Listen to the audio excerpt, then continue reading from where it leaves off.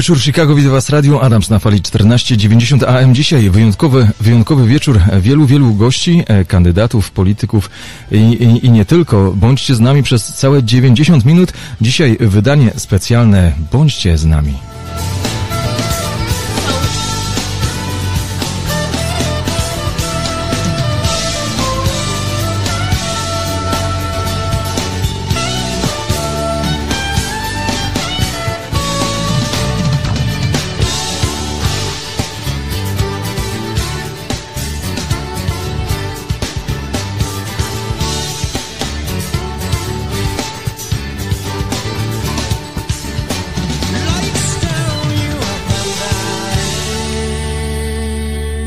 Witamy Was bardzo serdecznie i w tym momencie przejdziemy na język angielski. Uh, we welcome everyone here at 1490 AM. Uh, today is a special uh, radio edition, uh, special because we have special guests. Oh, yeah, we have uh, many special guests, and uh, today we're gonna just, you know, talk to many candidates. And our first candidate is Bob Bodak, and he is a Republican candidate for Will County Circuit Court judge. Hello, Bob. How are you? I'm wonderful, Paulina. Thank you for welcoming me here tonight. Yes, and you know, I, I'm really honored to have you on our show.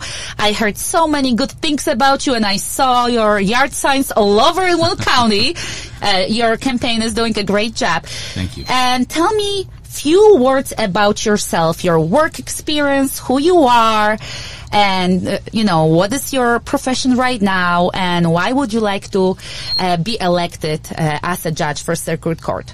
Well, those are some uh, many important questions. Uh, my name is Bob Bodak. I'm a candidate for Will County Circuit Court Judge to fill the Judge Powers vacancy after his retirement. Um, I'm a partner at the Joliet Law Firm, the Tomczak Law Group. I'm the immediate past president of the Will County Bar Association. I live in Shorewood, Illinois, with my wife Tracy, our dog Charlie, um, and I serve on the Troy School Board. Um, it, they're in Shorewood, and Tracy serves the uh, Troy Shorewood Library Board as well. Uh, and what is your profession right now? You are a lawyer with many years of experience, right? That's correct. I am a um, a trial attorney and a partner at the Tomczak Law Group. As I said, I represent people who have suffered tragic accidents, um, people who are engaged in civil contract disputes, um, need orders of protection in order to keep their families safe from other people. Um, and sometimes clients or their children who've had, uh, you know, a first brush with the law and need help navigating through that system. We're in private practice, so we handle all sorts of different types of cases. I handle real estate transactions for clients ranging from newlyweds who are buying their first home to um, empty nesters who are downsizing their home in order to spend more time with their grandchildren instead of spending that time doing yard work. So their priorities have changed. Um, as the past president of the Will County Bar Association, um, I've been able to uh, create and develop a, a, traffic safety program which will allow the citizens of Will County who have a, uh, uh, received a traffic ticket to still get court supervision while not having to come to court um, by, by completing the online traffic safety program, which is then automatically reported to the um, uh, to the uh, Will County Clerk's office. So that just streamlines the process and allows people to get a better disposition. And then, very importantly, as a Troy School Board member, um, I continuously fight for the voices and the choices of parents. Thank you very much. This Yeah. is a huge concern for many, many parents right now. Our voices are not being heard, so thank you for that. Yeah, the Illinois State uh, Board of Education is really trying to push down rules upon the local school districts. And at Troy, we have fought against that. And I've been one of those members, but we thankfully have a very good group of people who are willing to fight and stand up for parents and for the safety of children. Um, I voted to prevent, and we have prevented, the inappropriate and graphic sex education that's being taught to elementary school students, not in my school.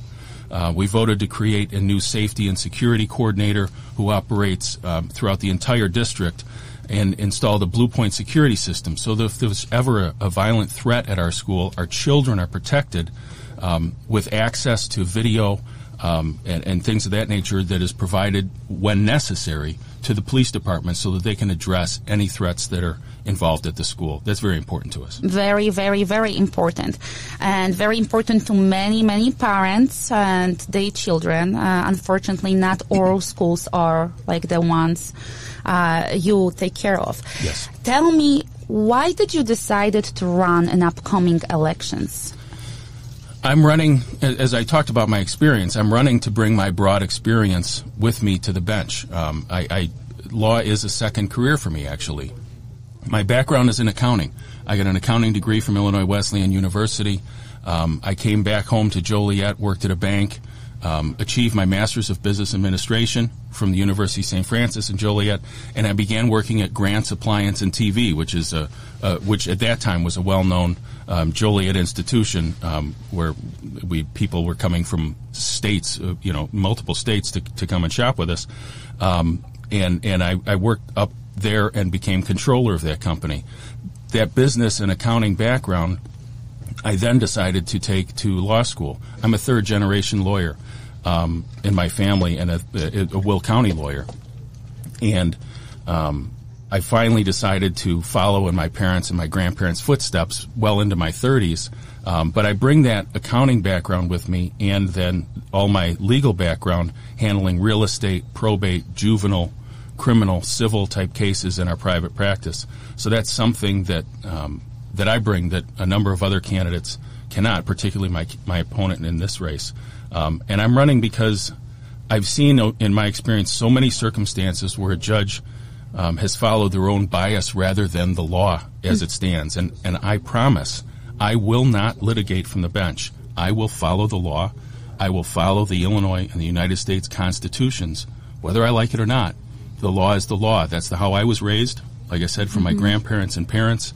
Um, and, and that's the oath that I'm going to take to not legislate from the bench, but follow the law. Follow the law.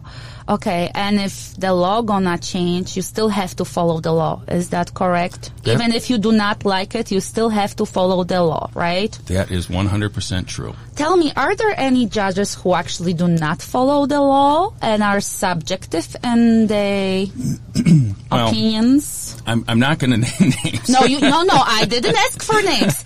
Can but, you tell me if you saw in your practice as a lawyer that there are some judges out there who are not following the law and are subjective in the opinions. Well, I, am I'm, I'm simply stating, as I did a moment ago, that I have had circumstances where I've felt that way.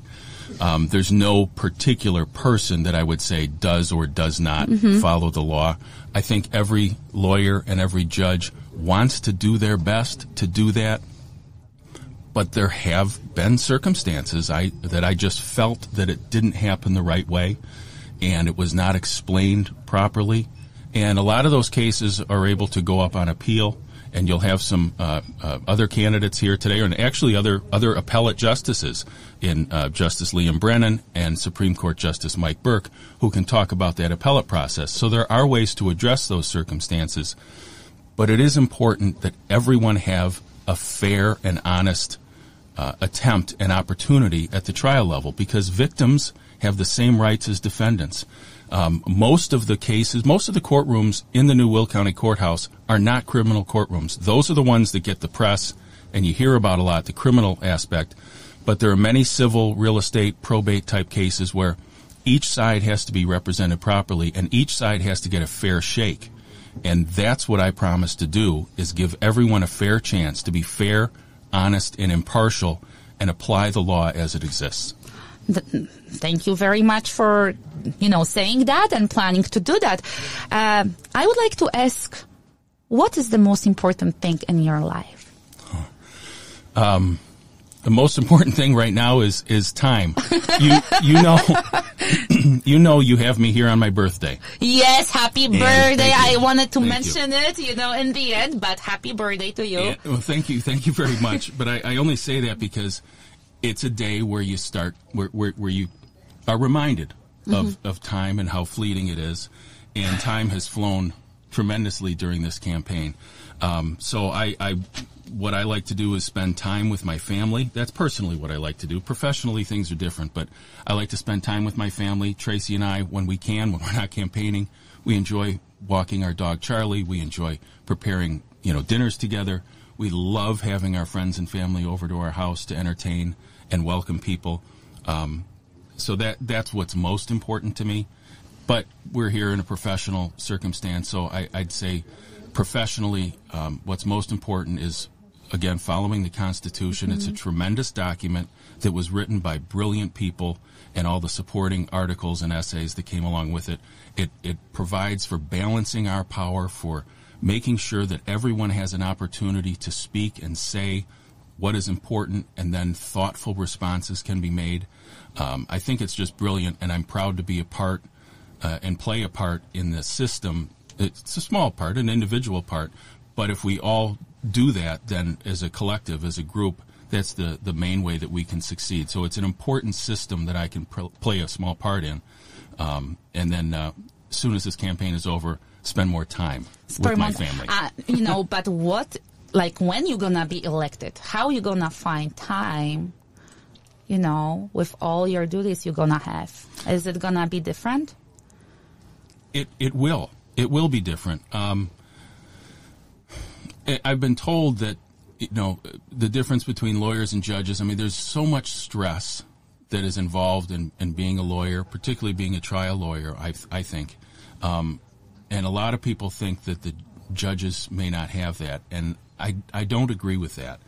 I think it's just a little different perspective. There is a significant amount of stress, and we call it um, um, at my office lawyers insomnia. You know those mm-hmm. those sleepless nights because you're thinking about what's coming, yes, and how to protect your client, not yourself, uh-huh. not myself, but how to protect your client and act in the best interests of your client, and what can you do to help them. I think as a judge, you are probably going to have those same sleepless nights, but it's after the fact in hoping that you did the right thing. Mm. Because every day, uh, when when a when a, a, judge is addressed, we say Your Honor, and judges are are called Your Honor all the time, inside and outside of court. And the reason I think for that is because every day that the judge steps up and every decision that they make is putting their honor on the line. Mm-hmm. And and it's a very important thing. It's a very personal thing to any any lawyer, um, any judge. I, I expect, and um, and I think it's just a different type of stress that'll be involved, but one that I welcome because I, I think it's be a tremendous role to play in that very important process. Can I ask you? Do you think that judges actually regret sometimes their decisions? Or no? I know I, you are not a judge yet, but do you think they sometimes regret? Yes. They do. Yes, because they may disagree with what they have, have to, do. to, do. And because follow, they have to apply the law and follow the law. And follow the law. And like some, it or not. Yeah, like it or not. So yes, I, I do think that there, there are times when they, they wish they didn't have to do something and they have to do it anyway. And that's part of the stress after the fact after that I'm fact. referring to. Yes. Uh, so we wish you good luck. You. you. know, I'm gonna keep my fingers crossed for you. And as you are in my, you know, district, I'm gonna vote for you. Thank you. Uh, thank you so much for coming. Uh, we want people like you who gonna take care of people like us, uh, common people. no, so we're I all hope, equal. Yeah, we are all equal. Yes. This is what I learned in the United States. Some people ask me, Paulina, how come you are not scared to talk to those candidates and judges or like Darren Bailey, Tom DeVore, you know, Supreme Court uh, justices? And I'm like, I, United States learned me one thing. We, the people, we are all the same. Yes, we have to treat it each other with respect, but we are all the same. Uh, but, you know, still, you know. That, that's one thing that's important about our government. The way it's supposed to run is we do not govern from the top down. Mm-hmm. We govern from the bottom up. Mandates from the top don't sit well with yeah. the rest of us. So we, we candidates are here because we want to serve and we want to represent. We don't want to dictate. Yeah, you do, and we don't like dictators, especially Polish people don't like them at all. So thank you again so much for coming. Happy birthday! Can I ask how old you gonna you are today? I, this is uh, 51 today. Fifty-one, beautiful age. Yes, it is. I'm Uh, looking forward to the next yeah, few years. a few, few years, few years. Yes, my oldest patient is 96 right now. So when somebody tells me at age of 60 or 70, oh, I'm old, I'm like, no, you are not old. My oldest patient is right now 96, and the oldest patient I had under my wings as a nurse was 104 years old. wow. So. well, my 50s are going to be my best decade but- so far. Yes, and I, I hope that it will be the truth for you, especially on the November 8th and after. Again, keeping my finger crossed for you. Uh, good luck, and thank you so much for coming. Thank you, Paulina. Thank you, Simon. Thank you so much. Thank you. It's a small gift from us to Bob. Happy birthday. All right.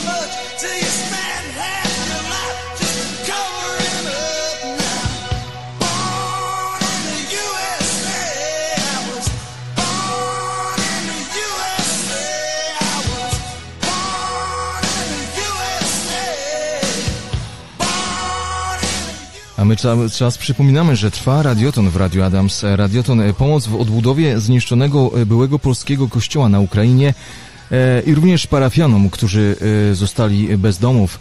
E, Dzwońcie do Radia Adams 773 633 7996 773 633 7996. Mm, e, To pomoc też dla księdza Grzegorza Jelenia.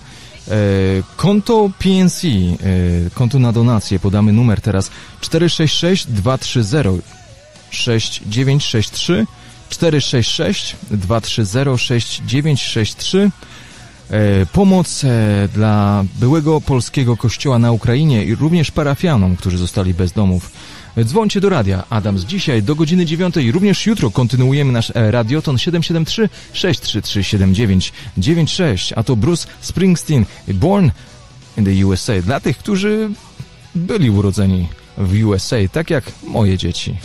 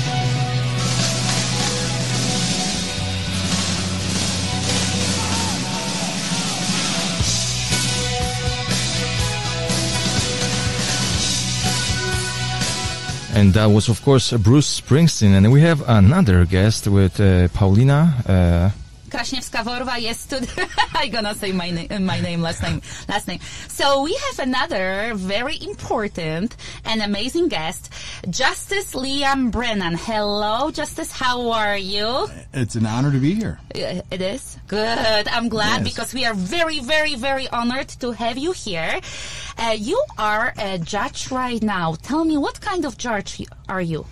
So I have been a judge for 14 years, and uh, 12 and a half of those was uh, as a judge on the trial court in DuPage County. Mm-hmm. So the trial court is, you know, if you need a divorce, you need a probate case, a criminal case, you know, you're, you someone sues you for a contract, whatever it is, uh, you go to trial court, and uh, if you like what happens, you're done. But if you don't like what happens, you can appeal to the appellate court. So for the first 12 years I was on the trial court. Mm-hmm. The last two years I've been assigned to the appellate court. So for the people who don't like what happened in their cases, they get one automatic right of appeal. And that comes up to the appellate court. So there's only one automatic appeal. What about if they still don't agree with appellate court? And that can happen. So if they don't agree with the appellate court, uh-huh. they can try to uh-huh. get an appeal to the Supreme Court. But the Supreme Court, they only take the cases that they believe are the most important for the whole state. So they take about 6% of the cases that are appealed. So we take 100%, the Supreme Court takes 6%. Okay, I see. I. You see, I did not know how it works Yeah. with appeal court. Uh, you you were also a criminal prosecutor, right? I was a criminal prosecutor for 10 years in the DuPage County State's Attorney's Office under Joe Birkett. Mm-hmm. And uh, I started in traffic court, but eventually worked my way up to be in charge of a felony courtroom and then uh, as the supervisor of the uh, child abuse sex crimes unit. And uh, that was, uh, it was important work, it was sad work, it was very satisfying work. Uh, but I went from there to the trial court, the, the judgeship. Do you think that we don't talk enough in Illinois about children sexual abuse? I think that um, historically, I- and maybe it's the same in Poland or any country really, but historically, we've done a bad job of talking about child abuse and domestic violence um, in general. I think it's talked about more today than ever before, but still, a lot of things happen inside the house that nobody knows about, right? And people are scared to talk about it outside of the house. Yes, they, they, they are scared, and we don't know it as parents, neighbors, teachers. Right. So, what can we do that? What can we do to change that? I think that um, in in schools, in different community centers, uh, in different communities. I mean, because different communities have different approaches to what happens inside a house. But I think we can encourage people to be open and provide them resources so they know there's help outside the house. Because that's the big thing, right? If if you if you're a woman, for example, and you're not working outside the mm-hmm. home, how do you leave? You have mm. little kids. Who's paying if you leave? And- And that's mm. always a um, tremendous issues. Yeah, I noticed that among Polish ladies who unfortunately are not doing that well, but they are scared to leave because they are dependent. Right. And I think I think there's a role for you know the Polish priests, the church, the community centers, um, the Polish businesses, uh, community associations. I think all of them, if they think about it and, and, and organize in a way to make it possible for people to speak out when they need help, that would make a big difference. Yes, yes, that would. So tell me, why are you running for that position? You have been a judge in appeal court for two years, and So I, so I was offered the opportunity to be assigned to the appellate court when an opening happened, and uh, I said yes. My wife agreed, but that meant that to stay there after I was basically filling a vacancy of someone who had retired.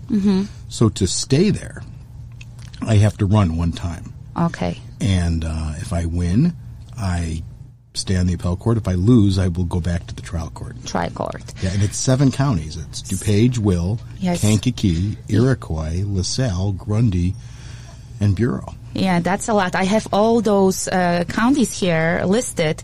That's a, so. How did you do with campaigning? That's a lot of counties to, you know, campaign in. Um, I do my best. Uh, you know, unfortunately, nobody really. In the appellate court, we labor in obscurity. We're kind of quiet. Nobody knows about us. Mm-hmm. So, really, I'm my own campaign manager, and I just do my best. You do your I best. spend most of my time in DuPage and Will Mm-hmm. because combined, that's 83 percent of the district. Mm-hmm. But the other counties are important too. You can't ignore them. Okay. Uh, why should we vote for you? Why, why do you think you are a right person for that position? Thank you for that. Thank you for that question. That's a that's an important question.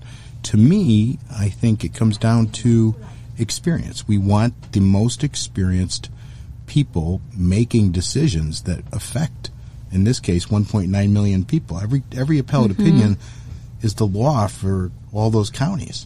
So you you don't want somebody in that position who's never been a judge before, um, or who has an agenda that is not the rule of law. I mean, so you, you're an immigrant. My parents were immigrants From And- Ireland, From right? Ireland, yes, yes. Where, by the way, we talked earlier. There's Yeah. a lot Oh, of Polish, Polish people, people living now. there now. Um, the la- I think I was telling you that the last time I was there, I walked in to go to mass, and all, and, and, the, and the mass was in Polish. I, I'm like, where am I? Chicago again. exactly. yeah, we are all over. I You, know. you are, and you're a welcome addition to Ireland as well. So the uh, Thank you. So um, the so the rule of law and the ability to be rewarded for effort and perseverance, you know, trying hard and keep on trying. That's what makes America great, right? Mm-hmm. That that doesn't work in a lot of Europe where they want to know who your mom was, who your dad was, mm-hmm. and that controls how far you can advance. That's what's great about America, right? Mm-hmm. But that requires that, you know, we interpret the law as written and the Constitution is written and don't go any further because if we just follow the rule of law, then there's no crony capitalism, there's no favoritism, and everybody can advance as hard as they want to work. Yes. Yes. So that to me is why I think I'm the right judge because I have that background. I've been a judge for 14 years. Um, I have a track record that's proven in terms of uh, following the law as written and not trying to pass any kind of an agenda. So you are a judge right now. Tell me, have you ever regretted any of your decisions I'm as gonna- a judge? So I'm going to answer that question a little differently. Okay. I'm going to say that there is a certain percentage of my decisions that I don't like. That that's a regular thing. Mm-hmm. But that's the way it's supposed to be. Mm-hmm. If if I decided every case the way I wanted the outcome to be, I would be happy. But that's not the law, and that's what we want to avoid. Yes. We want people to say, okay, I have to decide this the way the statutes and the Constitution say, and I have to take my personal opinions out of it. Mm-hmm. Right. Yes. So yeah, there's lots of decisions where I'm like, boy, if I was the Grand Poobah and I could just do whatever I wanted, mm-hmm. I would do something different. Mm-hmm. But but that would be a bad judge. Yeah, that would be a bad judge. Yeah, because everybody should follow the law. Nobody is above the law, right? Right. Yes. Uh, can I ask you about those executive orders issued by Governor Pritzker all the time?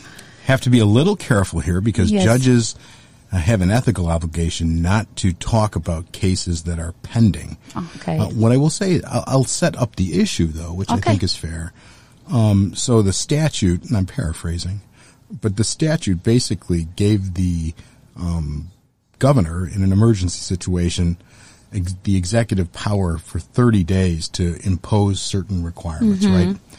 And uh, the question for the courts that's that, that's pending um, is whether that 30 day power can just be continued again and again and again and again and again, each one being a 30 day addition.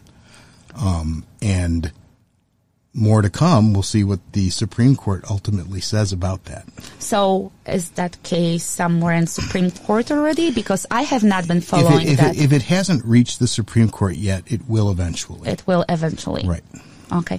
Can you tell me what was the worst thing you have seen within past two and a half years during pandemic, did you see anything that you were, you know, sad about or you did not like or you Well- would see it differently? Because what I have seen, and I am an immigrant from Poland, I was touched by communism, right? Uh, what I have seen, I was seeing my liberty and freedom taken away. And I know you cannot answer certain questions, but were things that scared you during those times?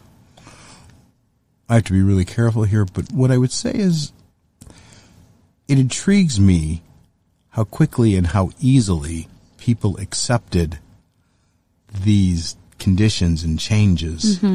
Um, and, and, and, and that's something that I think when all this is over, we're going to reflect back on and wonder about. And, you know, we'll see if the laws in any way change based upon that. Yes. Um, obviously, from my perspective, I have three children, and um, you know, the one was in Catholic school, so they did much better in terms of being in school.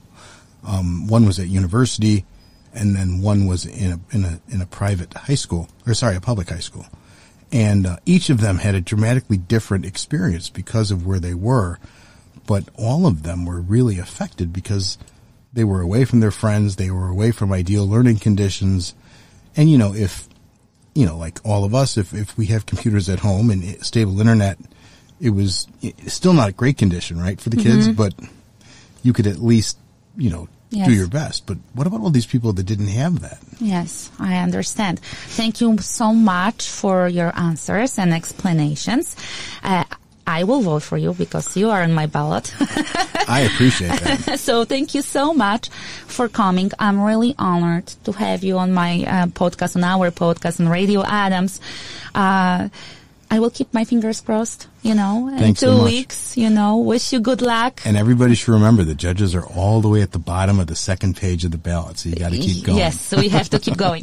Yes, and I try to say as much as I can. I try to guide uh, Polish people how to vote, who to vote for, uh, how to vote on certain issues like Amendment 1. Uh, but I'm just saying, uh, most Polish people are conservative, so I hope that they're gonna see your name and last name on the ballot. They gonna mark your name. So thank you so much, Justice Liam Brennan, for coming. it's great to be here Yeah, thank you thank so you much so much. Thank you. Thank you. Thank you, sir. The last will be first. Uh, so if you're on the bottom of this, so we hope you're going to be uh, the first. Plus, uh, well, w- once you wi- win the appellate court, and who knows, maybe in a few years, uh, Supreme Court judge. What? what? one one court at a time Oh, one court at a time. Thank you so much, and I'll see you soon. Thank you. that was great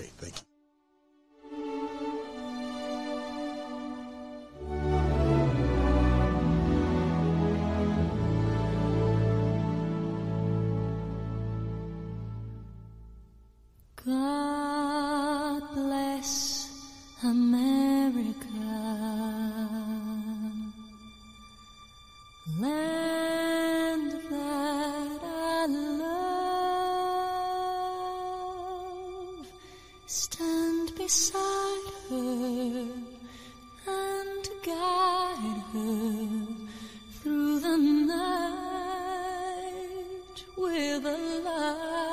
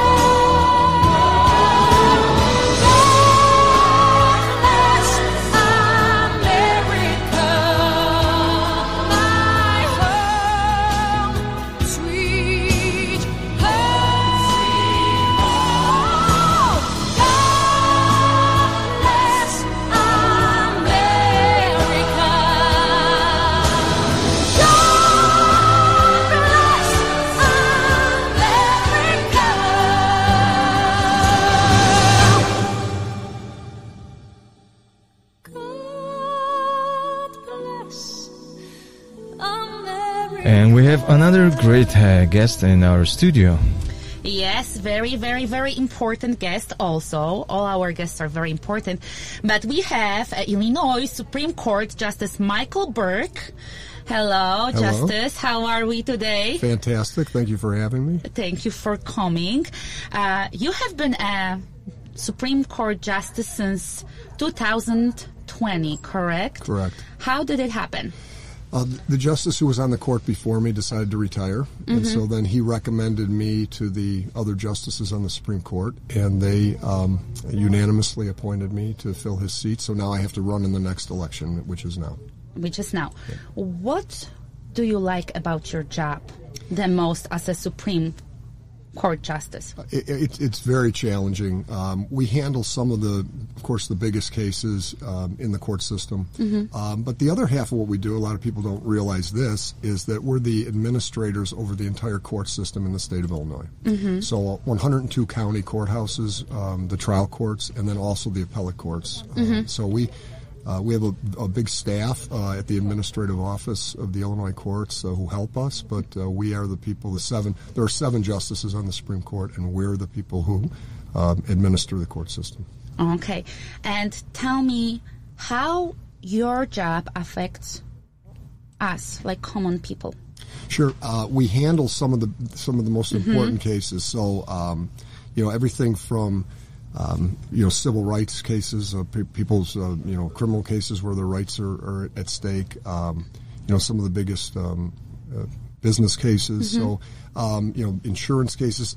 We only take cases that affect the legal system uh, in Illinois. Uh, we don't we don't take every case. Yes. Um, there there are uh, a number of cases that, that you know the litigants ask us to take. We only take anywhere from five to eight percent of those cases, Cases. and they're they're the most important cases. Um, you know, facing the court system. Facing. Uh, our case regarding the mandatory masks end up in Supreme Court. Do you remember what was the outcome? What the Supreme Court wrote about that? Uh, I'm talking about the case from Tom DeVore. Yeah, that that has not come up yet. Um, Okay. what happened was um, Tom DeVore and, and the and the people who were suing asked for what was called a, a temporary restraining order. Uh, that was denied, uh, and then that was appealed. Uh, up to this, and, and we did not take that at the time. Um, it takes four justices out of seven to agree to take a case, and there weren't enough justices who agreed to take the case.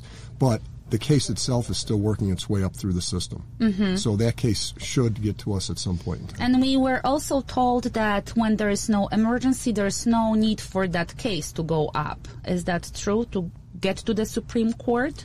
Well, no, that, I, th- that case is still is still, Still- a case in controversy, and, and Okay. my my anticipation is that it will still get there. Okay, we- we'll still get her. Okay, let's see how it's gonna end. Uh, tell me, what do you like most about your profession right now as a Supreme Court justice?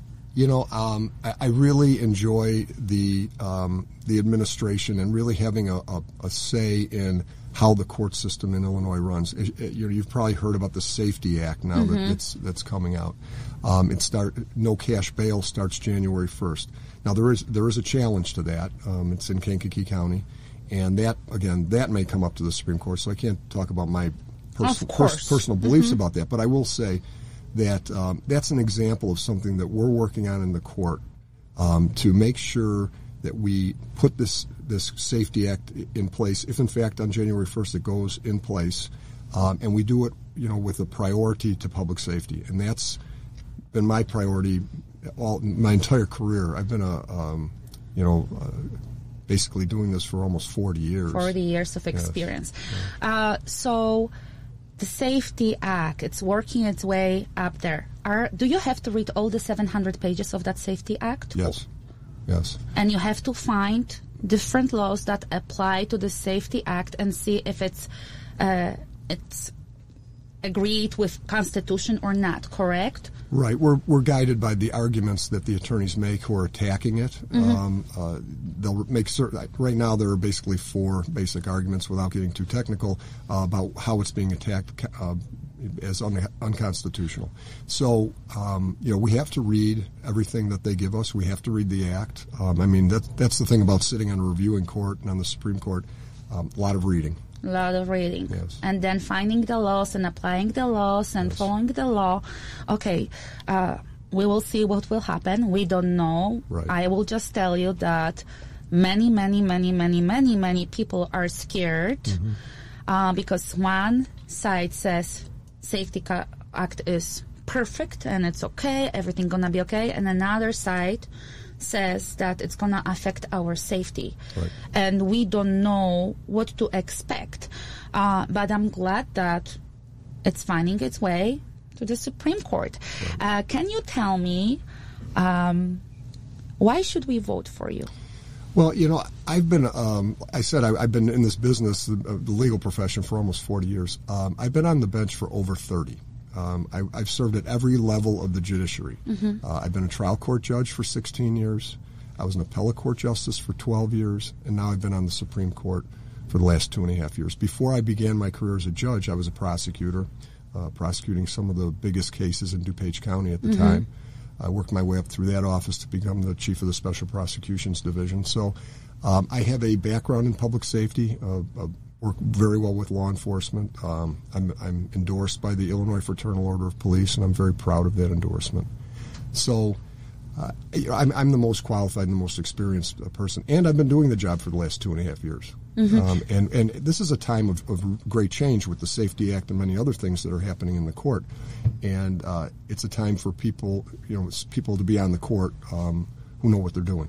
Okay, tell me how many Supreme uh, Court judges do we have right now? We have seven. Seven, and it always have to be seven. Yes, that's under the Constitution. And tell me, do we have another race for Supreme Court for Republican uh, judge? We do. There are two open seats right now. Mm-hmm. I'm running in the new third district, um, and I think Justice Brennan went through the, the counties. Yes, that the counties. in that. Yes, he he told us about that. And then there's another seat open in the new second district, and that's in Lake, McHenry, Kane, DeKalb, um, and Kendall counties. And who is a Republican candidate in that? Mark Mark Curran, who was the former Lake County sheriff, is the Republican candidate up there. How many Republican uh, judges do we have on Supreme Court right now? Well, right now, as it stands, there are four Democrats and three Republicans. Mm-hmm. So if Mark Curran were to win and I were to win, that would make it four Republicans and three Democrats. Is it important uh, to have Republican or the Democratic judges in the Supreme Court, Yeah. or no? You know, real, realistically, what we do is follow the law and follow the Constitution. I- It really it, shouldn't matter. Shouldn't But, matter. but I will say this: you know, some people who come on with it more with more of a uh, conservative viewpoint look at things a little bit differently than people who come on with a liberal viewpoint. Um, but but ultimately, at the end of the day, we should be following the Constitution and the law.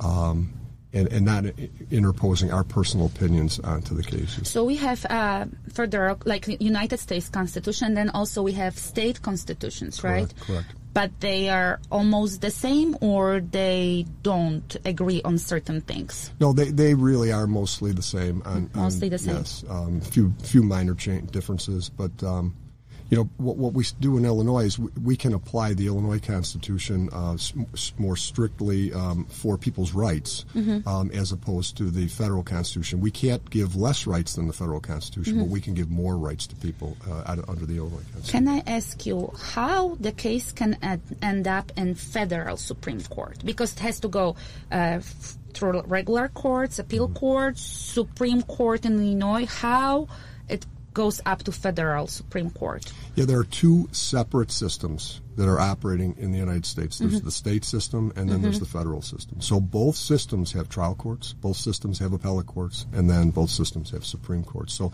really, it, it depends on where the case is filed. Okay.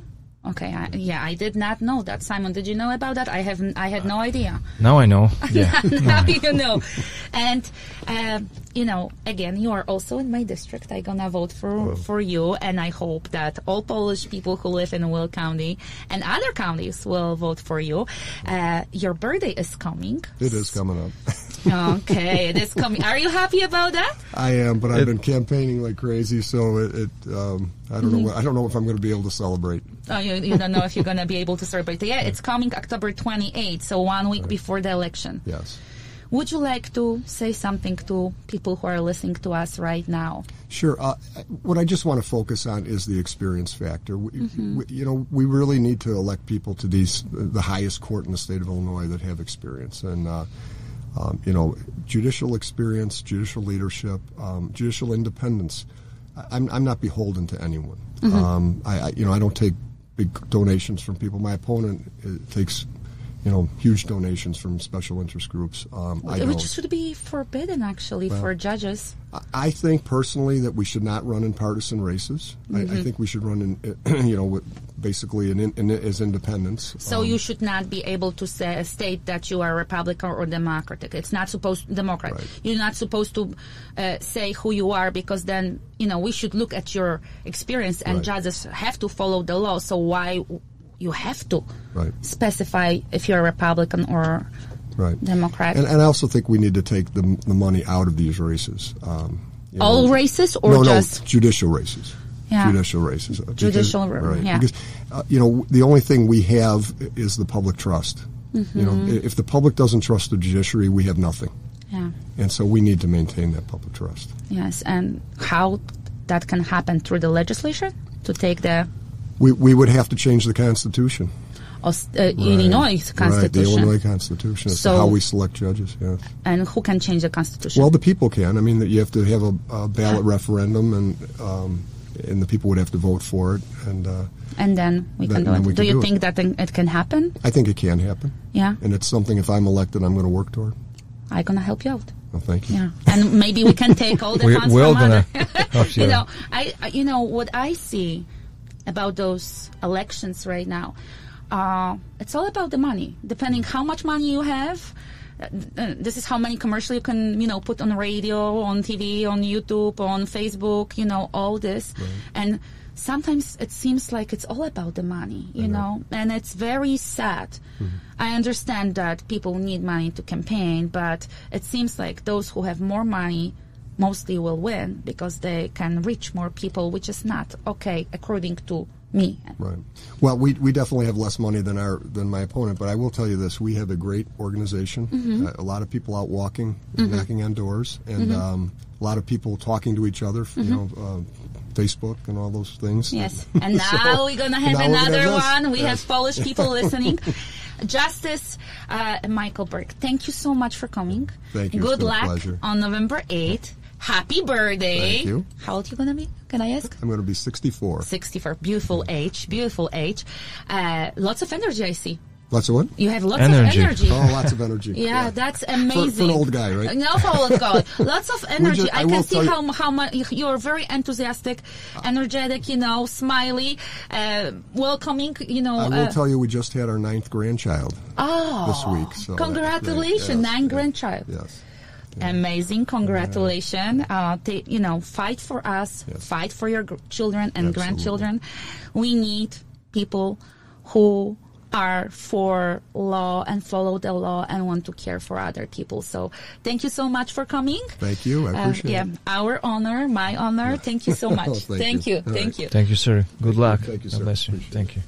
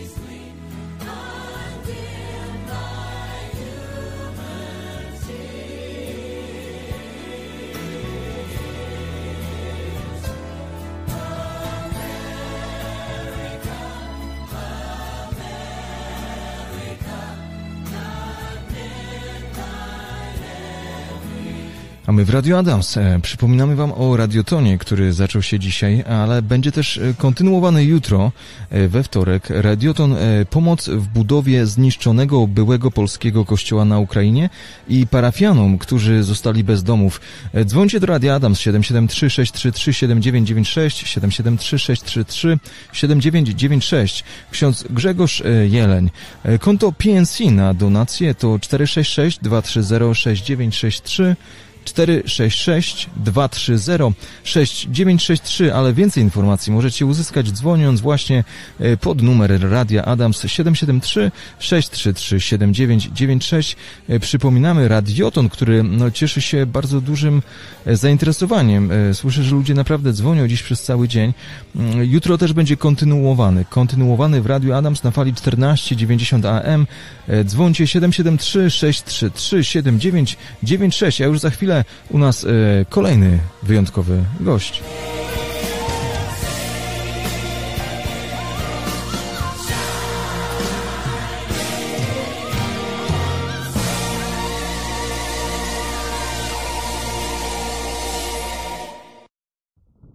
Zagramy może coś teraz e, po polsku. Dzisiaj dużo, dużo e, sami politycy, którzy startują w wyborach już 8 e, listopada. A my zagramy coś e, cover Justyny Steczkowskiej w wykonaniu Małgorzaty Kozłowskiej. Wracam do domu.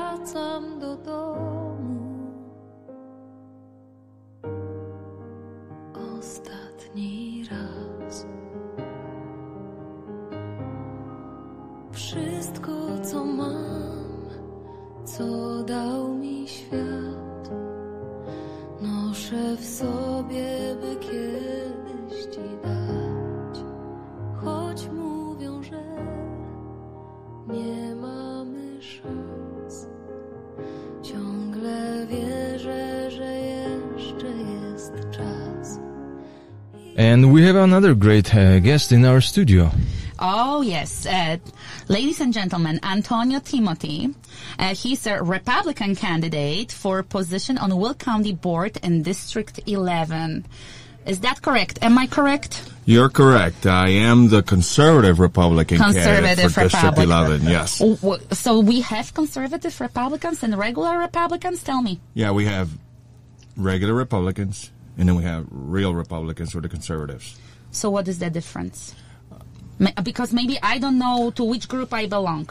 Well, you're a conservative. Oh, I'm conservative Republican? For example, you value freedom, you value your Constitution. Uh huh. Republicans, regular Republicans, will sell out for whatever. Freedom's not their main um, objective. They're just Republicans, and they're running as a Republican as a name. Mm-hmm. They may as well run as a Democrat, depending on the circumstances. But a conservative would never would. It's, I mean, I, you, I, you could never ever get me to run as a Democrat. Never. Never. But a regular Republican, you've seen it. Look at um Cheney. Mm-hmm. Look what she's doing right now. She's a regular Republican. She's just a Republican running, or is got elected as a Republican because that's what was convenient. Oh, yes. Sometimes it happens, unfortunately, and money talk, right? Money and power. Money and power, and depending who you know, right, and who has your back. So tell me, you are running for Will County Board in District 11. What are responsibility as county board member?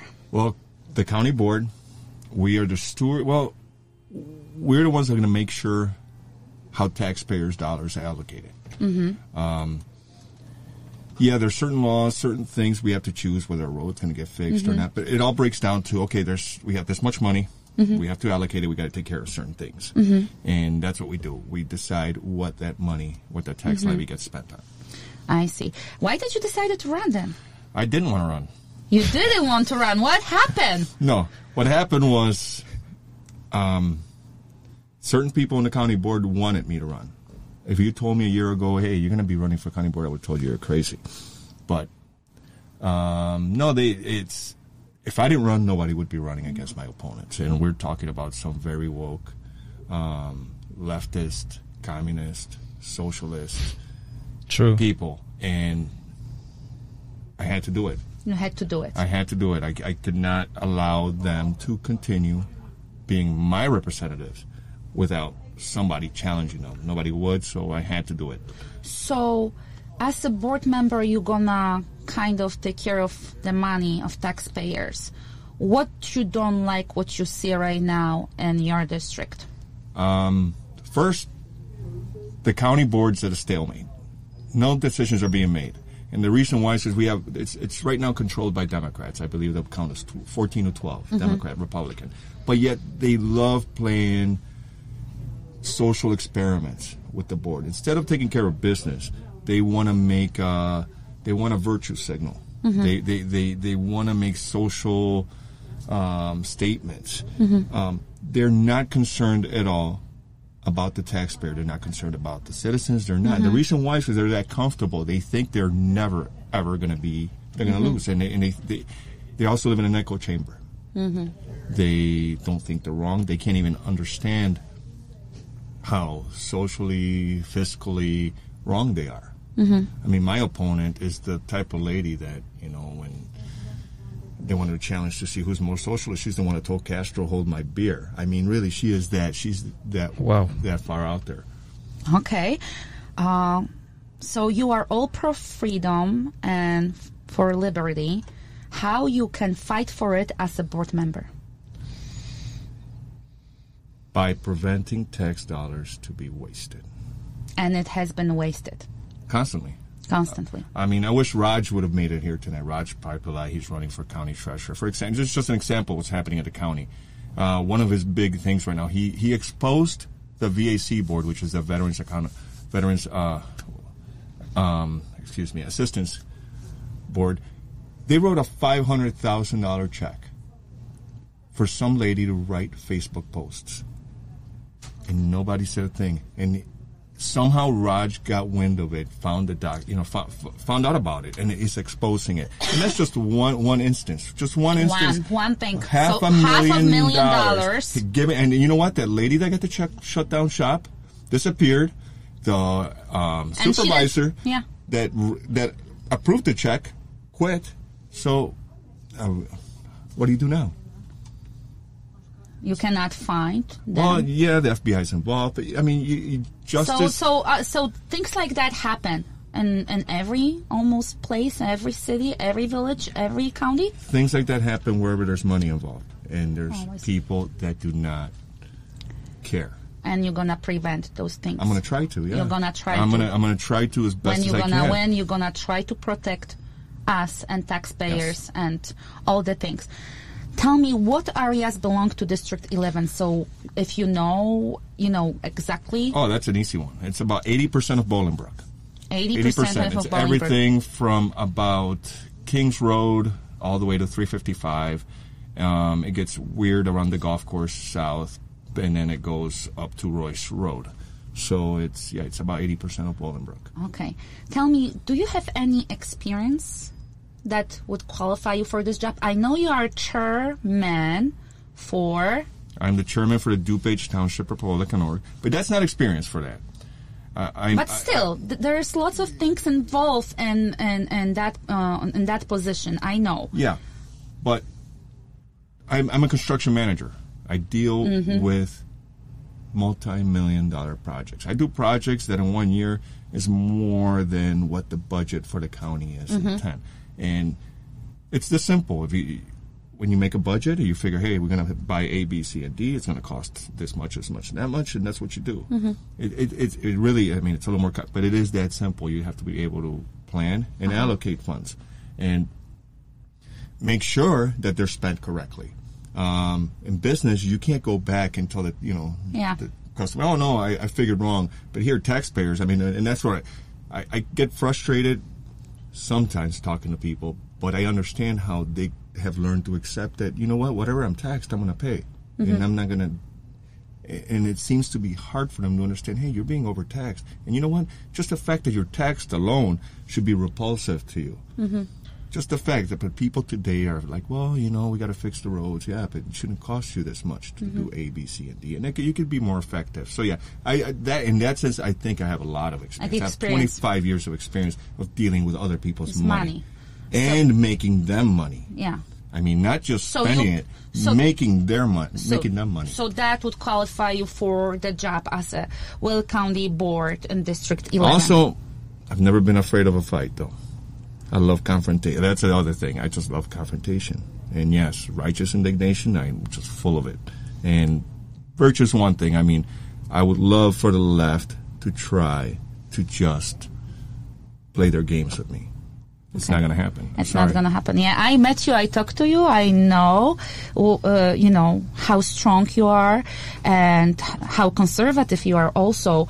So that's a, you know, I'm honored that you decided to come over. Uh, if I could, I would vote for you. Um, unfortunately, I am in Romeoville and I did not see you on my ballot, right? They No, I'm not on your ballot. No, you are not on my ballot. But, uh, you know, I hope that people who live in that district will vote for you. Is there anything you would like to say to our listeners? Yeah. Um, talk. I mean, I've been I've been knocking on doors for months. Believe me, I've been talking to all you guys. I, I get people are scared. So I mean, a lot of people are scared. They're out. They they don't understand what's happening. A lot of people are hurting. And I just want them to know that there are people out there. I mean, you, you're listening to a couple people here tonight that really care, and we're really trying to work hard to make things change.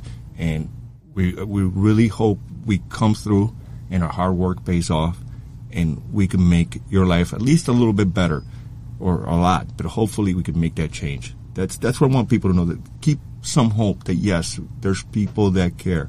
We're working. We need your help. We need people out there to, you know, when you see us, believe me, we're going to stand up for you. Don't be afraid. I, I, get a lot of people don't like.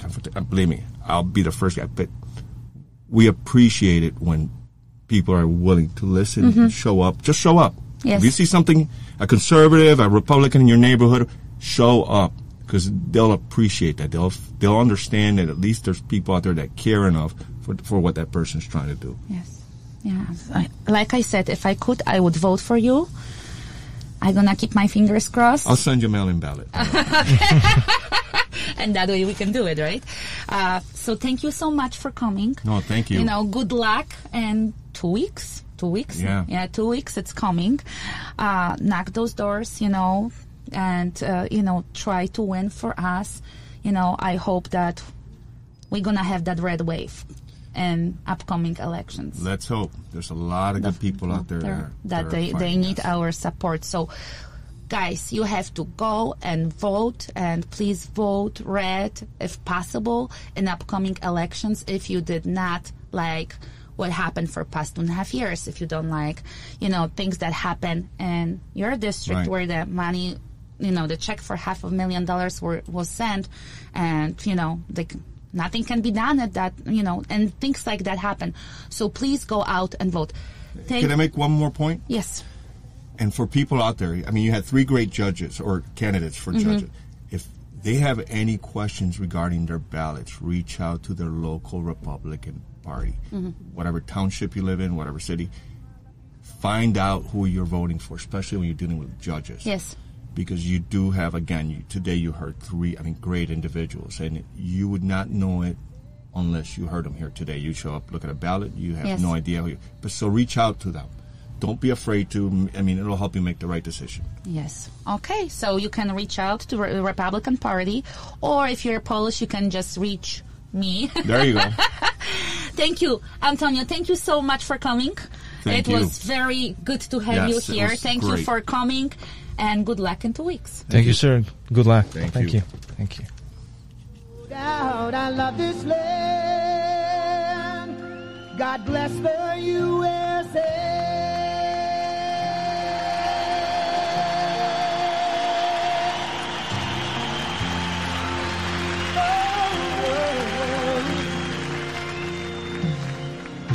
From the lakes of Minnesota to to the hills of Tennessee, across the plains of Texas, from sea to shining sea, from Detroit down to Houston, and New York to LA.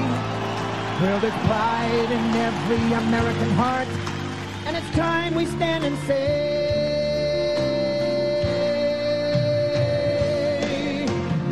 proud to be an American, where at least I know I'm free. And I won't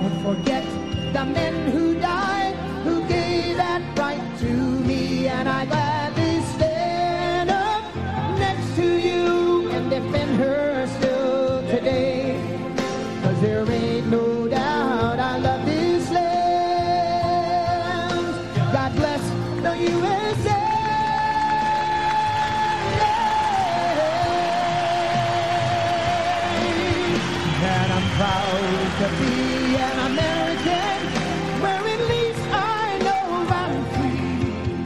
And I won't forget the men who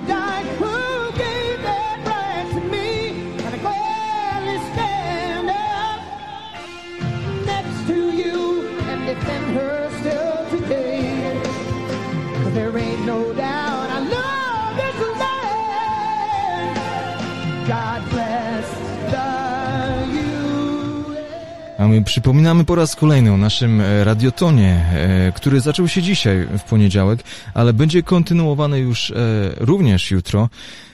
Pomoc w budowie zniszczonego byłego polskiego kościoła na Ukrainie i parafianom, pomoc właśnie parafianom, którzy zostali bez domów.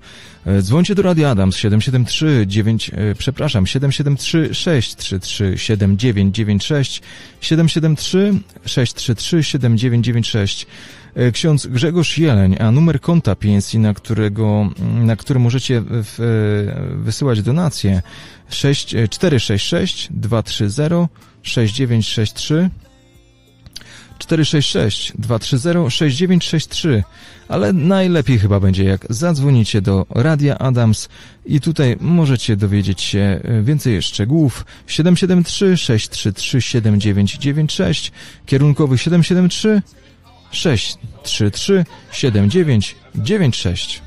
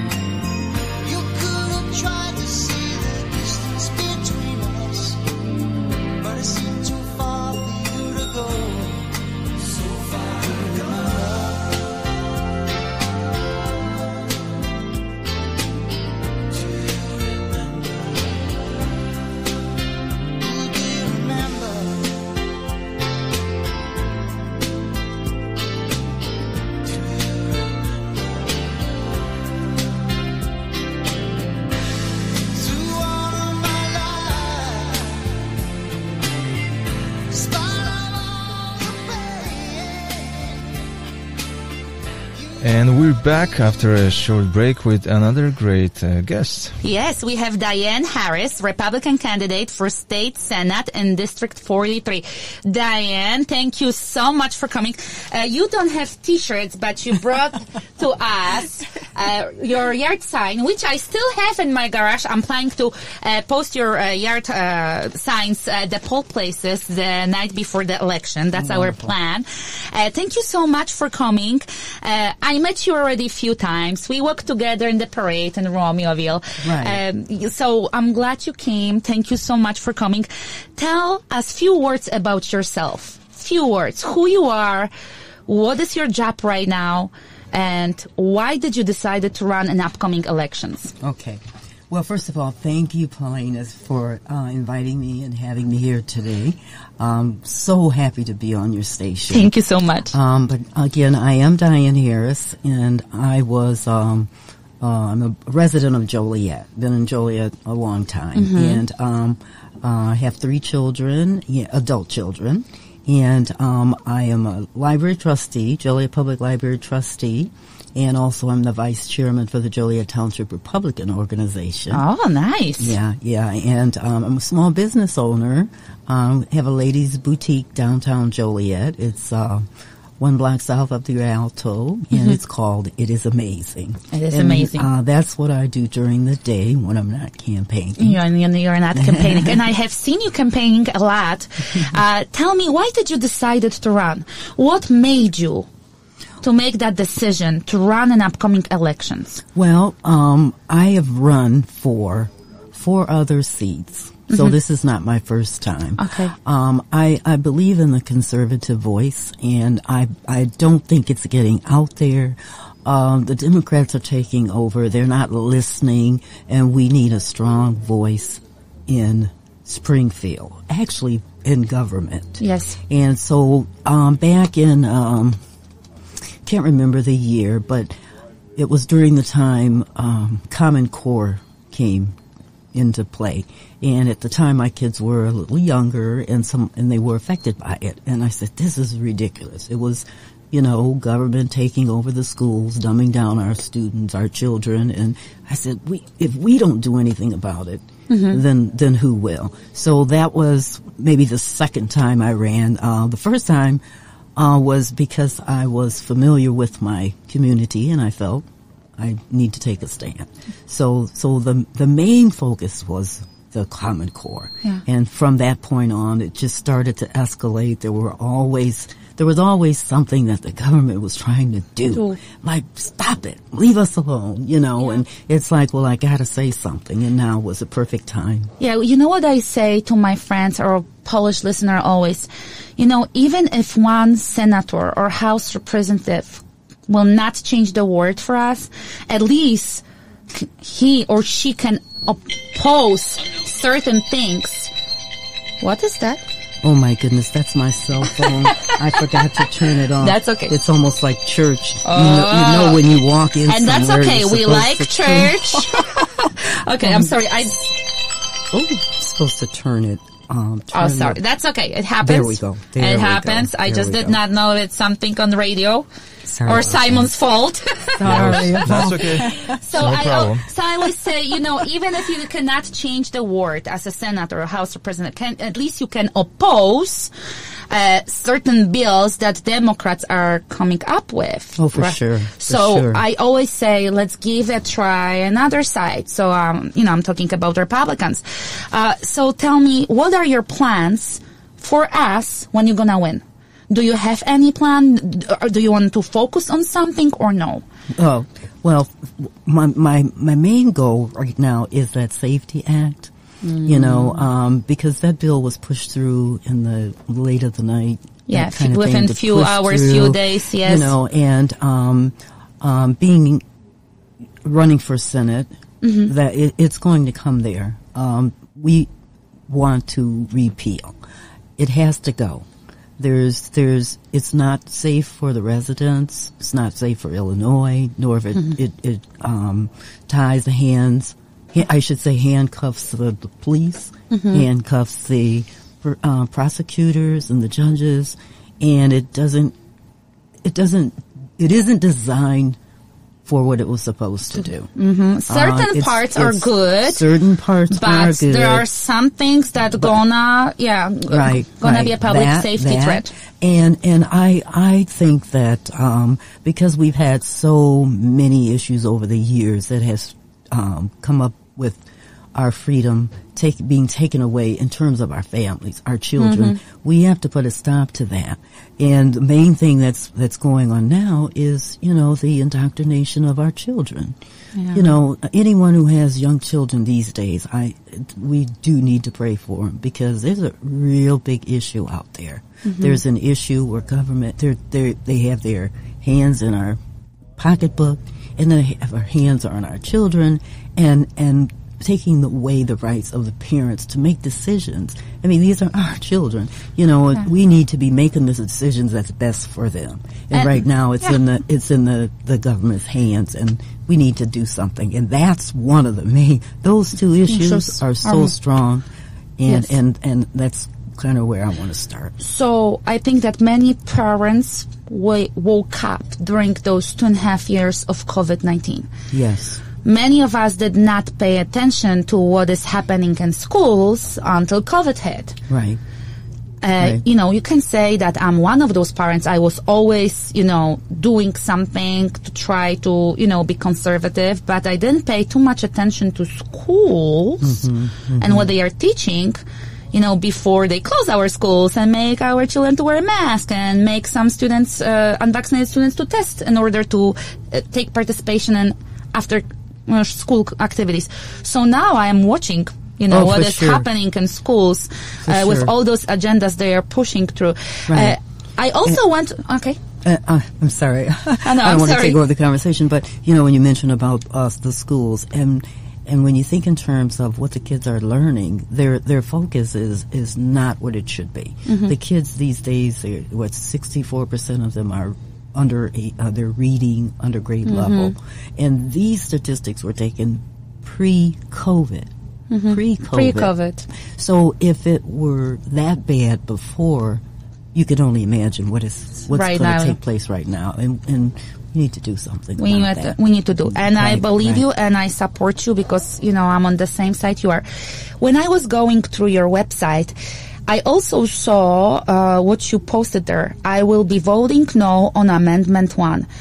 Can you tell us why you are against Amendment 1? I know you are pro people who works for union, but Mm-hmm. what are, you know, dangerous sides of Amendment 1? Well, well, first of all, when you say uh, workers' rights, of course, everyone wants the right to be treated fairly on a job. You know, they they want good paying wages and and uh, benefits. But we have unions; they're already established. All of these same. Um, uh, what they call them, all these same characteristics that are being requested are already there. Mm-hmm. You know, um, what we're dealing with now is another redundant bureaucracy that's going to cost the taxpayers, Money, yeah? and and that's what we have to get away from. Yes. You know, I say vote no to Amendment One because it's going to cost us. We're creating something we already have. The Department of Labor already protects the rights of workers Yes. and um, it, it's it's it's just another, I think, tax Yeah. Waste. Waste. Yes. Tax spin, tax spin. Yes, of You course, and we hate that. We see them going up all the time. I will vote for you because you are in my district. Well, wonderful. I will Wonderful. post your yard signs at the poll places the night before the election. We did that with Camille last time. Uh, you know, I have met you. I have spoken to you a few times.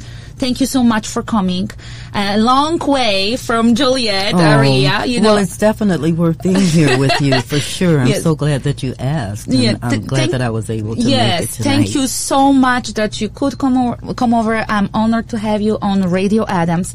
Good luck in two weeks. You have my vote, and I'm telling you. you that Polish people in Will County and in your district Right. uh, will vote for you because it's District 43. Diane Harris. I gonna show it again because just in case, Diane Harris, That's it. State Senate, 43rd District in Will County. So people who are in Will County. Diane, thank you so much for coming. Thank you, Thank you. For having me. Thank you. Thank you so much. Uh, he'll be here at 11.30 or noon. He's just driving around the block. Make sure that he's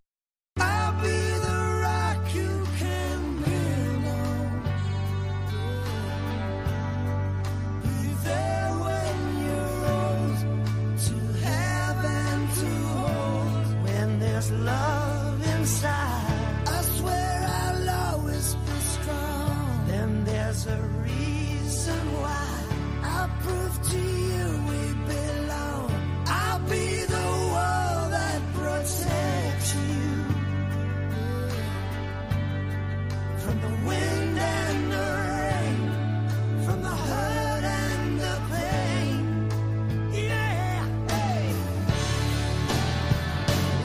again?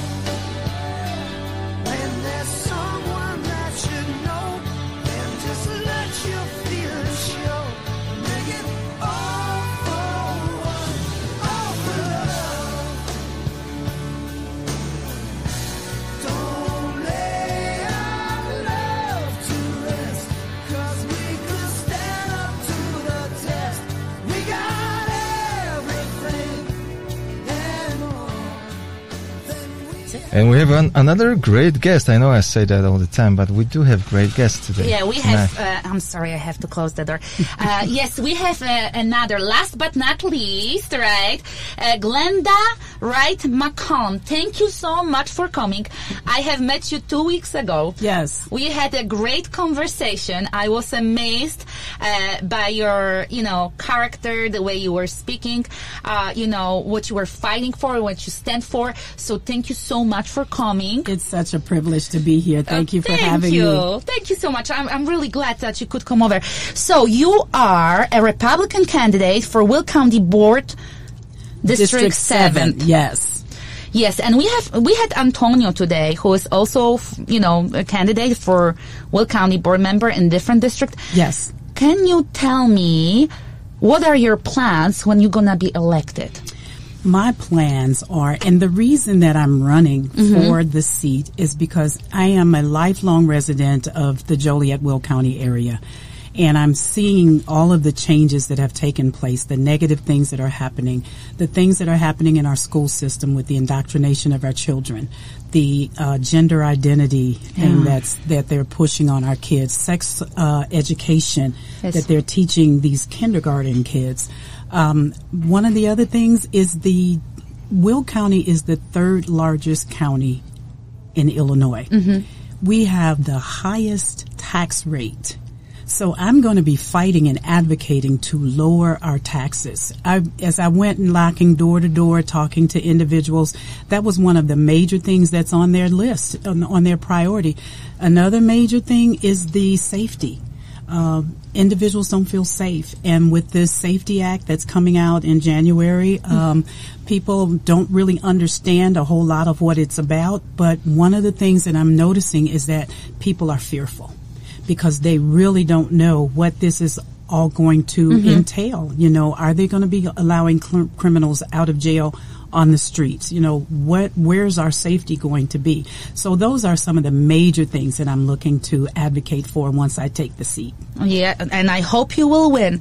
Uh, tell me, what was the worst thing you have seen within past two half years that, you know, made you really sad or mad or disappointed? I'm talking about COVID-19 era. Yes. Um, one again, going back to the schools, um, because a lot of these kids, they fell behind. They had to do school online, uh, remote learning, and they weren't learning. And so we do a homeschool, um, Excel homeschool program. We do grades K through 6 and we had some of these kids come in who were below and beyond grade level. Some of them were two grades behind. Um, by the end of the school year last year, those kids had come all the way up to grade level.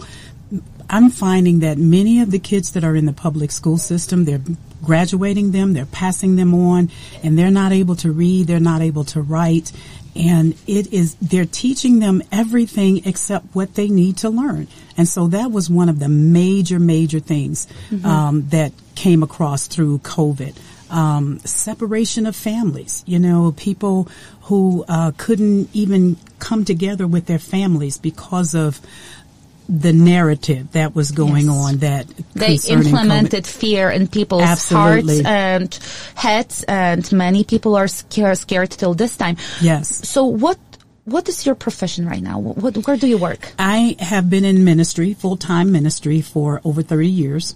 I've uh, worked in the community. I've established three 501c3 organizations that help underprivileged children.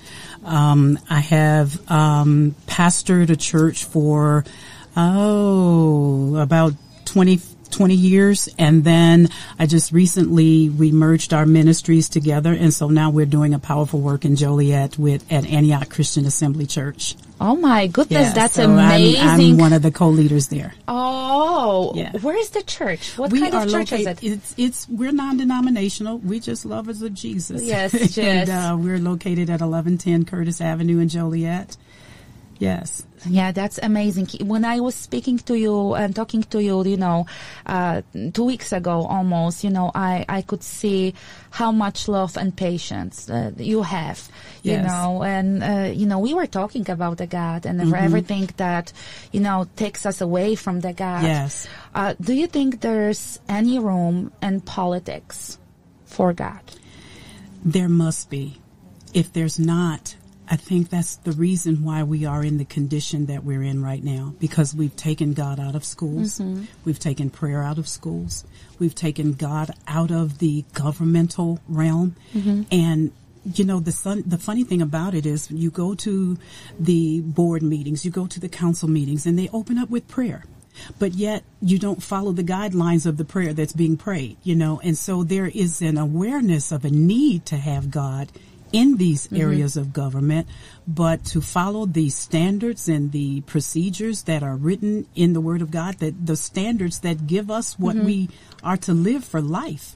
Yes. And so a lot of that is missing. So I believe that as we bring that back, mm-hmm. and that's one of the things that I'm going to bring back, I want to advocate for the people. My heart strong for the people. I love my city. I love Joliet. I love the county.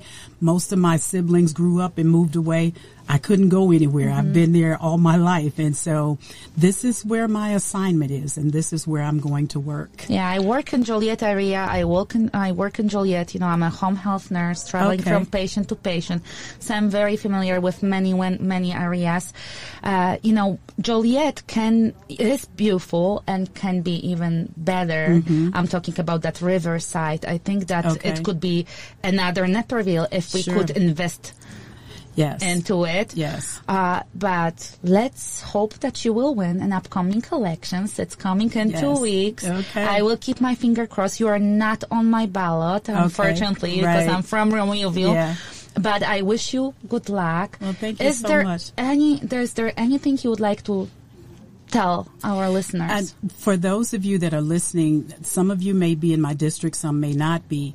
So my district is the west side of Joliet, and I go over into Plainfield, uh, up to Drauden Road, and um, so that those are the individuals that would be on my ballot, and um, I want to say, if you're tired of seeing what you've been seeing, if you're tired of the fact of going to the grocery store and not able to buy what you need to buy mm-hmm. because of, of limited funds, because of the prices being so high, if you're tired of paying f- almost $5 a gallon at the pump, it's time for change.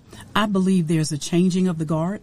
Mm-hmm. And I believe that there is a change that is coming, and it's individuals like myself who are have decided that we're not just going to talk about it; mm-hmm. we're going to do something about it, Yeah. and that's the reason why we're running. and I hope you will win, and all our other candidates who came here today also will win, and all other Republicans, uh, you know, Republican Yes. candidate will win. I'm waiting for the red wave. Okay. I'm praying for the red wave. yes, absolutely. Mm-hmm. Everything happens for the reason. I hope we will win. You Yes. will win, and you know, we need to, you know, take a stand for our children because it's all about our children, and That's you have been saying that That's for it. Mm-hmm. past so many years that we need to fight for them because future you know belongs to them not to us anymore Mm-hmm. Yes. so we have to take that stand Yeah. thank you so much for Thank coming you, thank you for i'm you. glad you could me. make it yes And well, I wanted just to add something because you mentioned about God, and in Poland there we have a, a saying where if you put God on the first place, other things are on the right place. Okay. So if you put so God on the first place, as we would love to, and we trying to do that, Mm-hmm. uh, there are other things will be at the right place. That is so accurate. Putting him first. Exactly. The, the scripture says, when the righteous rule, the people mm-hmm. rejoice. But when the wicked rule, the people mourn. We have been mourning for long, t- way too long. Oh. It's time for the righteous to begin to rule. yes and we hope that it's and, gonna happen and before here we said something about uh, being equal, which is very nice. We're all equal. But when I was reading a, a scripture and I read that when Sa- uh, Saint Paul said, "We all one in Christ," so this is amazing. Being one is is definitely something different, but just o- not only being equal, but we are because you mentioned about loving Jesus. Yes. So we love Jesus here too, Okay. and one. We are all one, sister, mm-hmm. brothers. Yes. We all, all one in Christ. That, that's amazing. and, Being and equal. we, you know, this is what we say, but also it's what we should see, and we don't Mm-hmm. see that anymore. Mm-hmm. We have been divided. Yes, absolutely. you know, absolutely. Somebody wants to- issues. yeah, wants to- somebody wants Yes. so many mm-hmm. divisions between us. Yes. Exactly. Thank you so much again for coming. you. Thank you. Thank Good you. luck Thank in two you weeks. so much. Thank you. All right. Thank you. Good luck. Thank you.